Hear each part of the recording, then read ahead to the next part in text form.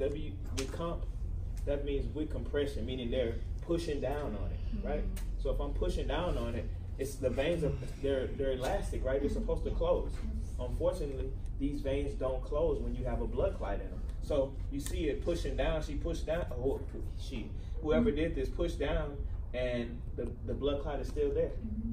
Sometimes we can dislodge a blood clot by pushing down on it. Sometimes we can push down on the blood clot, boom, that blood clot start moving and traveling down the bloodstream, eventually ending up in the lungs. That's how most, especially you could be doing legs. And a lot of times the those um, those blood clots will travel back to the lungs. So you can sometimes you can be the cause of a um, of a pulmonary embolism. But they're very serious, guys. When somebody has a PE, you, that's just as serious as doing a um, doing a, a, a woman that has a threatened um, ectopic pregnancy. Okay, just as important, a, a PE. Okay, that's why we do a lot of lower extremity Doppler exams because we're looking for blood clots. And so as we push down on different parts of the leg, arm, whatever the peripheral vessels we're looking at, there's a susceptibility that you can dislodge one of the blood clots, which is why we don't do a um, what's called a um, it is called a boy I haven't done an ultrasound in so long. Um, it's kind of like we do it. It's like a reflux study. I would like say if I'm doing a leg, I would squeeze the calf to make sure the blood doesn't go backwards or it's not retrograde flow. So if you have somebody with a um, with a blood clot and you notice it like this, that's an evident blood clot. Can't miss that, right? You won't you won't do that reflux study um, on that patient. Okay, guys, I don't know why that leaves me right now. The proper term for that for that I don't know what's going on. Huh? Go ahead. Uh, I heard that that slick comment too. I ain't that old. uh, now you say you don't do the uh, the reflux on a patient with PE. Correct. You won't put on that compression. Correct. It's definitely won't won't do that. Golly, why? It's supposed to come to me by now. It's supposed to come to me by now. I don't know what's going on. Anyways, guys, let's keep going. Let's keep going. It's gonna come to me at the end. I'm gonna be on. I'm gonna be all on your uh, remind app. Hey guys. so look for me later on. All right. So so risk factors of a pulmonary embolus, guys.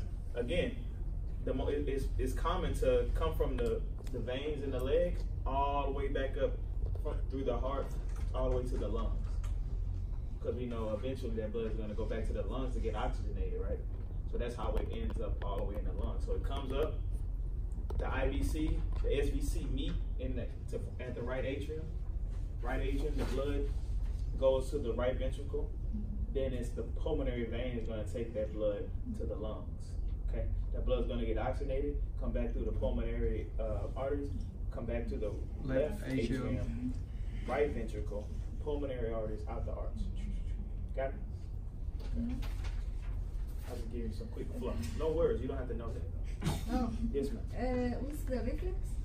Reflex. I told you I can't remember the name. no, what's the, the um, Gastroesophageal reflex. The who? Gastroesophageal reflex.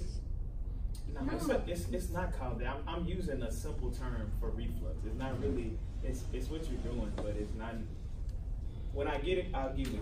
I, I mean, what you do, and you call it the What's the you squeeze the person's calf. You might squeeze. So if they have a, a, study in their arm, I'll squeeze their forearm.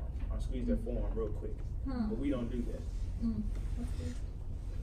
Leave me alone this. I can't remember. I keep thinking about it. I'm gonna keep moving, guys. So, so risk, risk factors of a PE include being older, living a sedentary lifestyle. Everybody know what a sedentary lifestyle, being lazy, not doing anything, you know.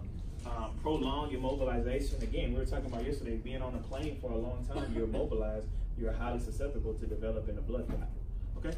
Recent trauma, all right, uh, pregnancy, being in a hypercoagulable condition, just being more susceptible to developing blood clots. Say, for instance, you know, um, if you have really viscous blood or really thick blood, you're more susceptible to developing blood clots than somebody who has thin blood. They're more susceptible to bleeding out, right? Because their blood is so thin. Someone mm-hmm. with really viscous blood, meaning their blood is going to clot really fast, mm-hmm. they're more susceptible to developing blood clots or developing a PE. Okay, estrogen use, recent hip or abdominal surgery, and of course, a previous DVT, which is a deep, deep vein thrombosis, which is what we call it in the, the veins in the legs. Deep vein thrombosis, that's what a DVT is, okay? Mm-hmm. Okay, that's a PE, very important. All these medical situations are very, very important according to us, and they can all happen to each and every one of you guys. Okay? So let's talk about uh, cerebral vascular accident or a stroke, guys. A cerebral CVA. va- hmm? It's CBA, right? CVA, yes, sir. Yes, sir. Know those, know, know that initial. Know those are the acronym. A CVA is a result of an obstruction or occlusion of a cerebral artery within the brain, resulting in hemorrhage. Okay, guys. Here's here's your blood vessels within the brain right here. This is the posterior part of the brain. It's the anterior part of the brain. These vessels lie in the inferior part of the brain. Okay. This is called the circle of Willis. This is circle of Remember, I told you that even though one of these may get blocked, there's usually many tributaries that the blood can still go around and get through. You know, your body's so amazing that it'll create a new vessel for itself if it happens to get blocked off. Unfortunately, with the with the brain vessels, these vessels are so tiny that if, if it gets blocked off and you it, it can result in a hemorrhage because these vessels are really really tiny. So we, what we'll do on this study, we'll do like a carotid artery exam. We can't see these little vessels in the brain. We cannot, we can't do an ultrasound on those. We can do continuous wave. We can do a continuous wave ultrasound on those just to get the blood flow. But you really have to know where your vessels are. But we can't visualize through the skull, right? So there's no way we can see these blood vessels right here. Okay? Strokes are often spontaneous events that range in severity. Okay? Sometimes you can have a mild stroke known as a transient ischemic attack or TIA, which is a mini stroke. But it can be that can be an indicator of a more severe stroke coming along. Okay? So a lot of times people have, you know, mini strokes and they come back 100%. And then it may have a, a major stroke, a CVA, you know, and it could be a lot worse. Or the first stroke could be a CVA. Like I told you guys, my mom passed away from a stroke. So a mini stroke, a transischemic uh, attack, that happens about 80% of the time. No, I'm sorry, about 70% of the time. A hemorrhagic stroke, which is a worst, the worst kind of stroke, only happens about 30% of the time. The mortality rate is a lot higher for a hemorrhagic stroke versus a transischemic, a TIA stroke, okay, or a mini stroke. Okay. Uh, signs and symptoms include, guys, possible severe headaches, numbness, confusion, difficulty hearing, dizziness, ataxia, and loss of consciousness.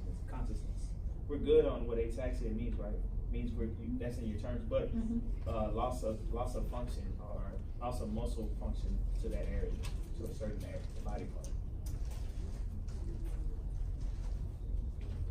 So you just, you know, think about somebody who had a stroke, how they may have deficits where they can't move their arm or something like. Anybody here know somebody with a stroke or post-stroke?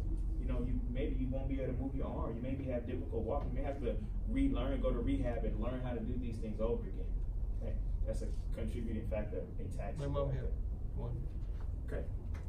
And that's just the brain right there, guys. So we're good. Cerebrovascular accident, stroke, TIA, transit. Know what TI, know what transient means, temporary, ischemic, loss of blood. Know what, know what those words mean. Okay. So we're good on strokes, guys? Good on strokes. Okay, so, guys, real quick, this right here is the acronym, um, for noticing a stroke right here. Guys, we have a sticker right here. If you look on the refrigerator on the side, it's a fast sticker right there. Usually in all Harris Health elevators, they're gonna have this fat, a flash placard in the elevator, okay? So, do know what the, the fact, the, um, the acronym means. Fast, I mean, F meaning face drooping. These are some, these are signs you're looking for, you know, if you happen to, somebody suspected of having a stroke. Okay, so you look for that face drooping on one side. Usually it's a unilateral, unilateral thing. So you'll see, you know, maybe the one side of the face will look lazy or just drooping, real relaxed. Okay, meaning that's a they can't it's ataxia, they inv- involuntary muscle control. Okay, all right. So um, next thing you'll notice, A is for arm weakness. You know, um, the person uh, tends to have some maybe some tingling in their arms or they can't move their arm as well. Okay. The S stands for speech difficulty. Of course, they might have slurred speech. However, talk to somebody with a stroke is really tough to, to, to communicate with them and understand what they're trying to say. Okay. And the T is for time to call ambulance. Guys, if you notice any one of these these um, manifestations, definitely make sure you uh, call the ambulance ASAP. If you notice one or more of those things. If clinical symptoms occur, immediately end the procedure and call for emergency assistance, guys. Again, don't never leave a patient alone, but definitely make sure you have a way to call for emergency, even if you gotta yell out. Okay? So just know what our FAST acronym acronym stand for, okay? Face drooping, uh, arm weakness, speech difficulty, and time to call ambulance. So, I think it's the last disease right here, guys. Diabetic emergencies.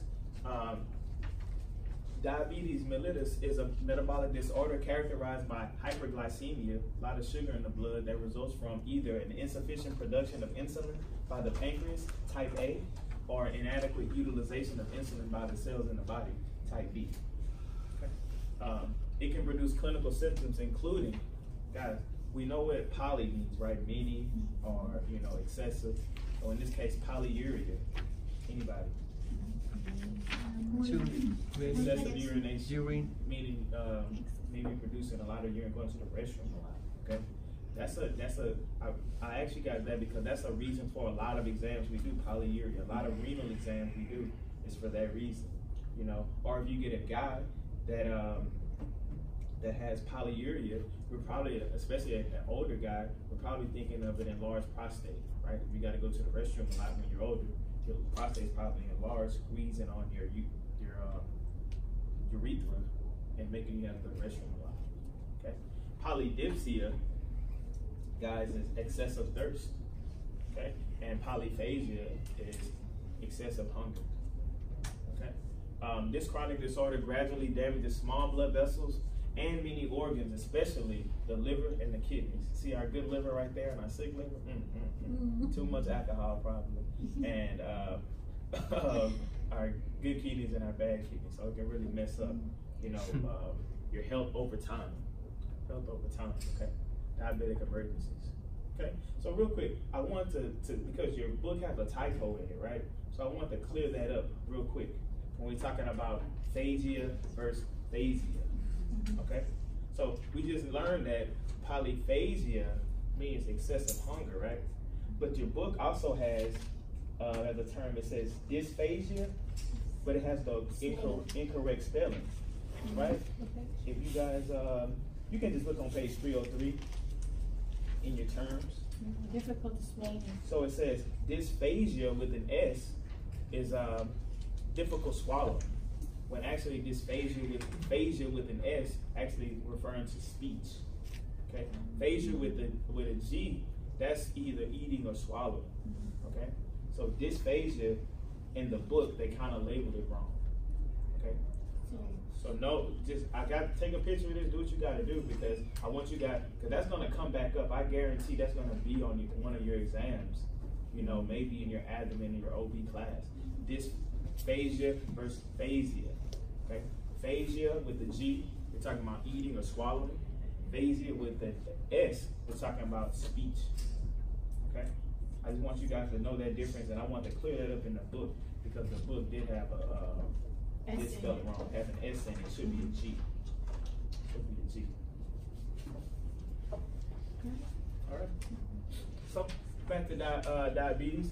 There are three types of diabetes, guys. Uh, type one, insulin dependent, and usually diagnosed before the age of thirty. Get back to my, my spot. Um, type two, which is the most common form of diabetes, uh, have a gradual onset and usually occurs in people over forty years of age. Okay? And type 3 is gestational diabetes, and that happens to be diabetes that occurs in women while they're pregnant. Okay? And right here you can see, I don't know how well you guys can see this chart right here, but 77% is type 2 diabetes. It's the most common form of diabetes. Okay? And um, that's what I want you guys to know that type 2 is the most common form of diabetes right there. Okay? Um, so again, type one, let me just try to explain insulin dependent, meaning that my pancreas isn't producing in, uh, insulin the way it should be. So that's type one diabetes. My, my, my pancreas isn't producing insulin the way it should be. Okay, type two, meaning that yeah, my pancreas producing insulin, but the rec- the receptors in the blood aren't receiving the insulin. Okay, so that's why you stay in that hyperglycemic state. Okay, too much sugar in the blood, but insulin is gonna take that sugar and use it to make energy, right? Correct? Mm-hmm. And that's what I talked about the pancreas last week. So, uh, some complications of diabetic, of being diabetic include hypoglycemia. Of course, we know that means not enough sugar in the blood, right? Diabetic ketoacidosis, hyperglycemic, hyperosmolar, non-ketotic syndrome, and a coma. Okay. Um, in order to prevent a diabetic emergency, guys, that's why it's so important. We schedule our diabetic patients first thing in the morning because they're not used to being NPO. Okay?